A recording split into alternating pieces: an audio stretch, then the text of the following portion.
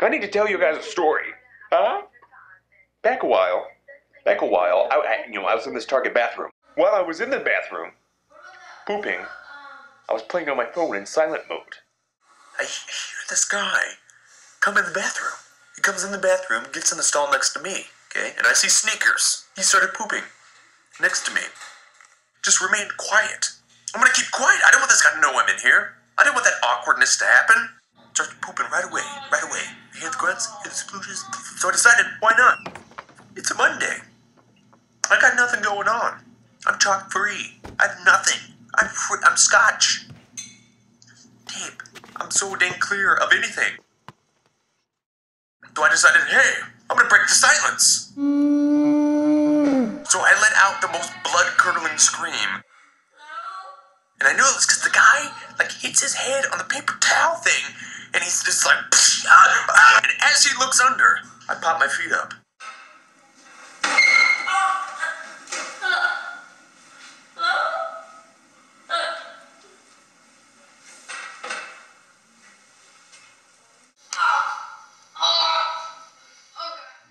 So I decided, why not? You know, it's a Monday. So I let out another soul ripping scream. The guy just starts screaming. All I hear after this is the guy like trying to like put on his pants, right? But what this guy didn't know is in the span of him jingling around his pants, it gave me enough cover to move from my stall into the stall right of his.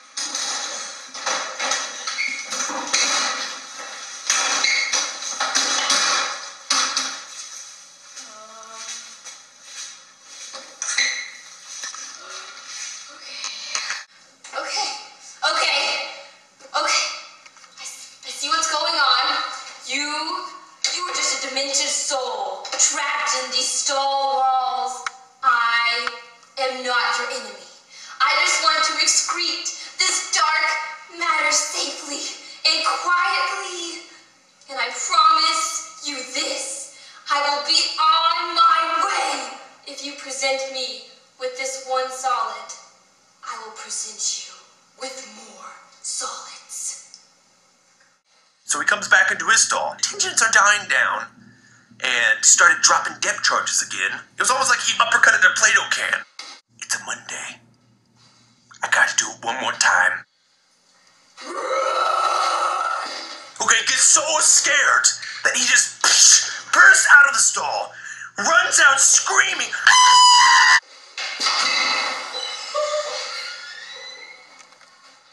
So I walk out of the stall, and I remember the only thing that I did was I just did a double fist to the air, right? And I just said, I am the Master Commander! I don't even know why I said this, but I it was the moment it fit the moment. Apparently, the guy had left his pants in the stall. And in the target, one foot soaking, and I go up to a, an employee and I'm like, hey, I don't know what happened, but somebody left their pants in the stall, in the bathroom. Oh. Not again. Again? Again? Freaking again? What?